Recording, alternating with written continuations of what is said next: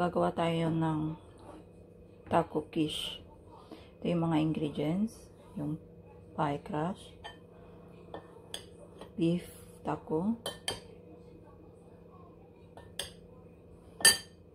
grated cheese, egg mixture, 3 eggs, 2 cups of cream, and optional chili powder.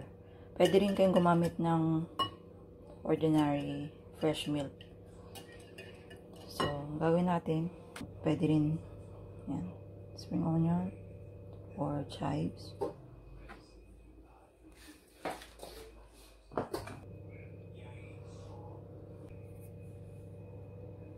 Ito na siya. Ibibake natin siya ng 30 minutes to 40 minutes. 180 degree. So, hintayin na lang natin guys.